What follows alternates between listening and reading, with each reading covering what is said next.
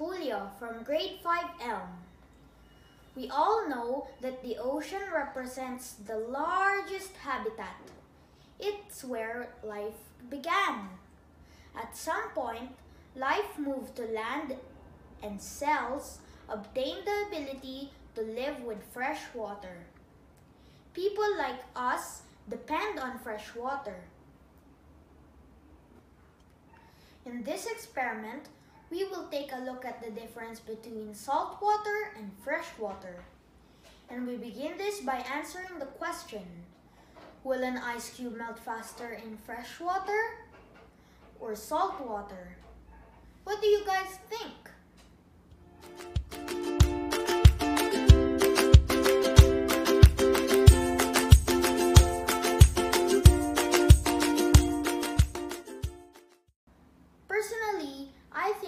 Dissolve faster in salt water because it has salt.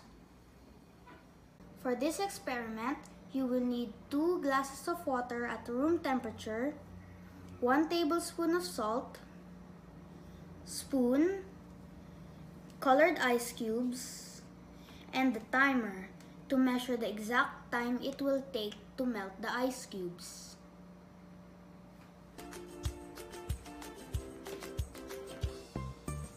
First, we need to make salt water.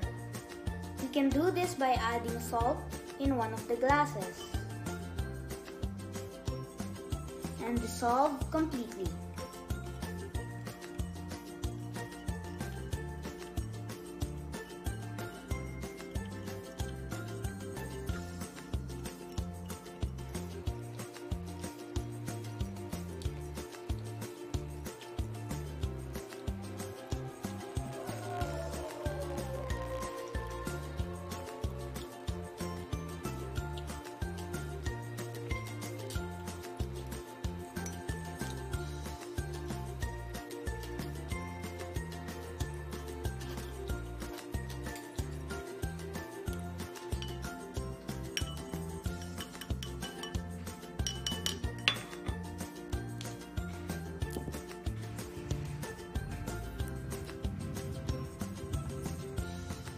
And then we add ice cubes in each of the glasses at the same time.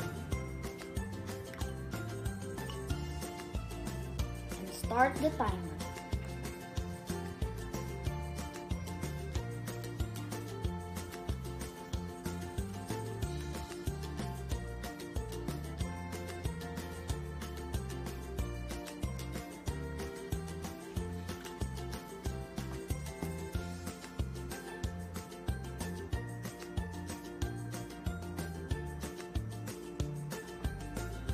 As I can see here, the one the the one in the fresh water,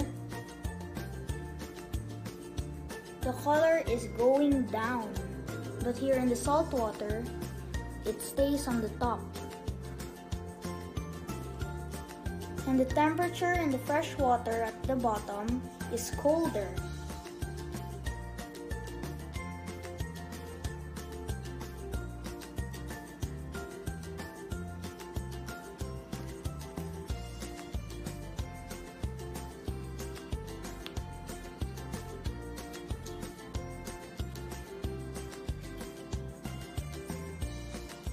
You can see here, the ice in the fresh water is smaller than the ice in the salt water.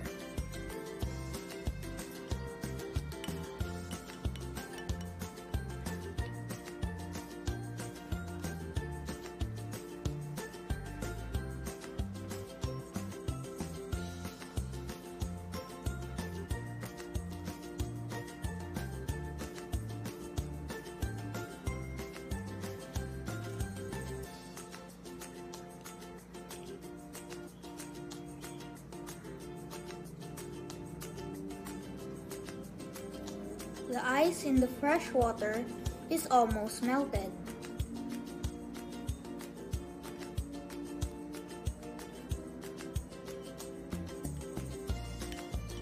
While here, it's still bigger than the ice in the fresh water.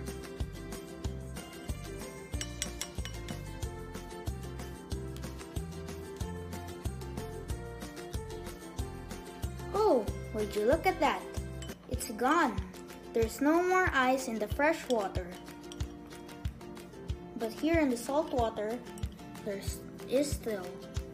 Let's stop the timer.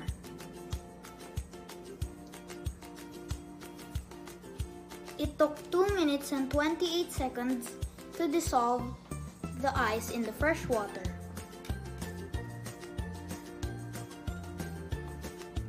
Let's continue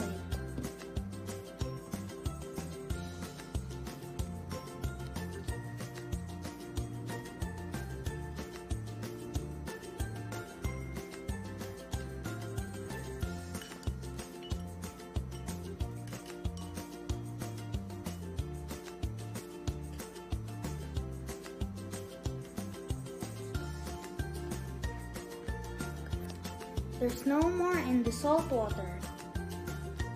And it took 2 minutes and 57 seconds to dissolve the ice in the salt water completely.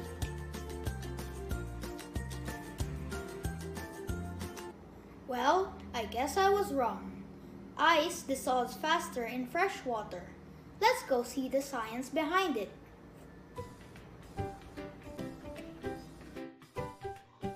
The left illustration, when the ice cube is placed in the fresh water, the ice melts and the cold water is spread throughout the glass. This resulted to more heat transfer and thus shorter time to melt the ice cube. On the right illustration, when the ice cube is placed in salt water, the ice melts. But since the salt water is denser, the water from the ice stayed at the top. A pool of cold water is created at the top and did not spread throughout the glass. This resulted to lesser heat transfer and thus longer time to melt the ice cube. Changing the density of fluids, either through temperature or dissolved materials, leads to changes in the system. This concept is applicable to our ocean circulation. We also realize that we have an important connection to our environment.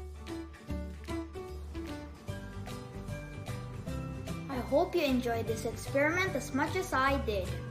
You can try this at home too. Thanks for watching. Bye!